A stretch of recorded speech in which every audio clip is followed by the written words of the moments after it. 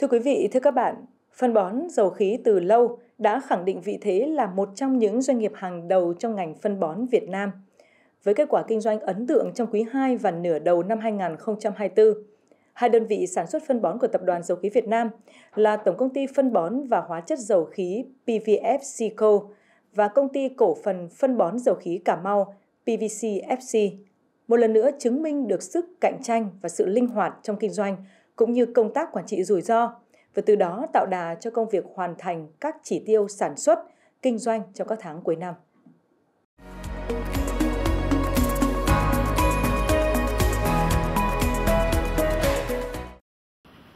Kết quả kinh doanh quý 2 và nửa đầu năm 2024 của Tổng công ty phân bón hóa chất dầu khí và phân bón Cà Mau thực sự đáng ghi nhận.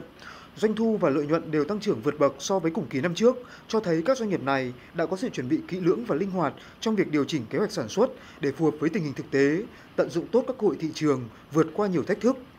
Những thành công này đến từ công tác quản trị xuất sắc của công ty mẹ là Tập đoàn Dầu khí Việt Nam cũng như những nỗ lực từ chính tập thể người lao động. Một doanh nghiệp muốn phát triển và phát triển bền vững cần phải liên tục à, đổi mới sáng tạo. Và cái tinh thần đổi mới sáng tạo này được lãnh đạo công ty tạo cơ chế rất là À, mạnh mẽ, cũng như là tạo động lực tất cả các anh em nhân viên công ty ờ, từ thể chế là chúng tôi có xây dựng một cái quy chế về à, quỹ khoa học công nghệ, cái nguồn lực dành cho công tác à, nghiên cứu phát triển cũng được ừ, sử dụng rất là là tốt, rất là hiệu quả và tạo động lực cho nhân viên dám làm. Toàn tổng ty cũng đã đạt được khoảng gần 1.300 cái ý tưởng và 518 cái sáng kiến với tổng giá trị làm lợi khoảng 100 tỷ đồng. Đấy, và đã à, góp phần cho tổng ty hoàn thành tốt các cái chỉ tiêu nhiệm vụ và thực hiện tốt cái công tác tiết giảm chi phí như là phong trào về ý tưởng sáng kiến trong phong, à, công tác bảo dưỡng sửa chữa lớn tại nhà máy các cái phong trào liên quan đến văn phòng số hay là các cái sáng kiến số liên quan đến công tác kinh doanh.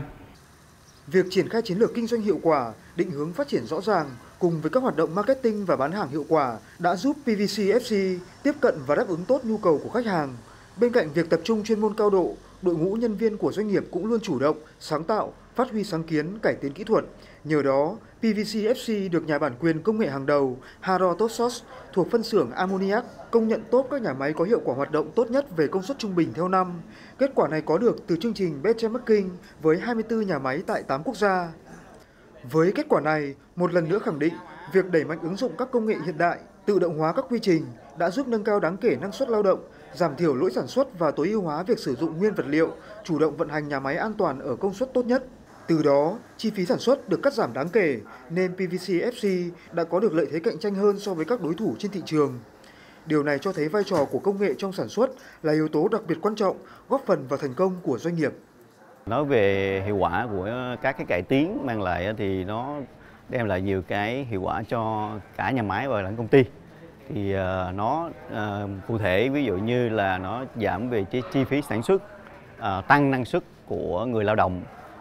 tăng cái công suất của nhà máy và cải thiện được cái chất lượng sản phẩm. Đó là những cái chính mang lại từ cái việc đổi mới sáng tạo cũng như là cải tiến sáng kiến cải tiến trong bối cảnh khó khăn về biến động thị trường, giá cả, đặc biệt giá khí đầu vào tăng 11% so với kế hoạch, PV PVFCO đã quyết liệt, kiên trì thực hiện nhiệm vụ, một đội ngũ, một mục tiêu cho sự phát triển bền vững. Có thể nói, việc tập trung tối ưu hóa quá trình sản xuất tại PV PVFCO đã được thực hiện một cách liên tục. Bằng việc phân tích và cải tiến từng công đoạn đã giảm thiểu lãng phí, tăng cường hiệu quả sử dụng năng lượng và giảm thiểu tác động đến môi trường, sự tối ưu hóa này không chỉ giúp giảm chi phí sản xuất mà còn góp phần nâng cao chất lượng sản phẩm, đáp ứng ngày càng tốt hơn nhu cầu của khách hàng. Kết quả, tổng sản lượng kinh doanh phân bón của đơn vị 6 tháng đầu năm 2024 đạt 108% kế hoạch, tổng sản lượng kinh doanh hóa chất cũng đạt 108% kế hoạch, trong đó phải kể đến sản lượng sản xuất ure là 446.000 tấn, đạt 105% kế hoạch. Các chỉ tiêu tài chính như tổng doanh thu, lợi nhuận trước thuế, nộp ngân sách nhà nước đều vượt kế hoạch 6 tháng. Đối với ờ, công tác sáng kiến và ý tưởng tại nhà máy động Phú Mỹ thì à, được triển khai qua rất nhiều kênh từ những ý tưởng ban đầu đến à, có thể áp dụng trực tiếp vào sản xuất chúng tôi luôn ý thức được rằng việc à, cải tiến à, có nhiều ý tưởng để hợp lý hóa sản xuất là một giải pháp để giúp chúng tôi có thể nâng cao được năng suất lao động à, giảm thiểu được chi phí sản xuất và đảm bảo rằng thiết bị sẽ vận hành an toàn và ổn định.